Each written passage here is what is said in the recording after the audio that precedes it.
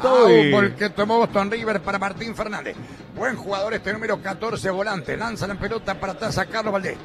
Levantó violento Carlos Valdés. Va para Agustín Rodríguez. Agustín Rodríguez cabecea la pelota para Rodrigo Pérez. Al avance con la pelota, Rodrigo Pérez pide Machado. Vino centro. Paró con el pecho y sacó potentemente hacia arriba el jugador Coelho. Recoge la pelota Suárez. Pierde Suárez. Lo marca y le va quitando Guzmán Rodríguez. Saca la pelota el zaguero. Se equivocó.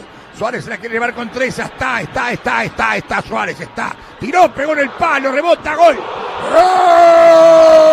¡Gol de Nacional Cándido!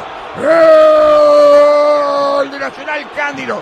Se los vengo diciendo. Nacional va a anotar en el momento que se equivoque el equipo de Boston River. Se equivocó Boston River. Agarró la pelota el jugador Suárez, remató. La pelota baja, dio en la parte baja del poste izquierdo.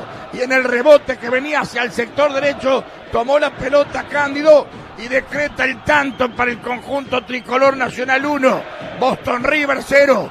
Cándido cuando transcurren cuatro minutos del segundo tiempo. Perdió la pelota en la salida a la defensa de Boston River. Y esta vez no la perdió con Treza, la perdió con Suárez. Y si Suárez erra, pega en el palo, termina en gol. La pelota le quedó a Cándido, que siempre invade para atacar la pelota en el área. Abre la cuenta nacional y ahora se le complica el sastre. Era el partido del error. Y allí quien estaba el número 9, que toma la pelota, define y la bronca que queda porque no entró, pero el gol lo hizo Cándido. Gana el tricolor 1 a 0. Kesman es Kesman.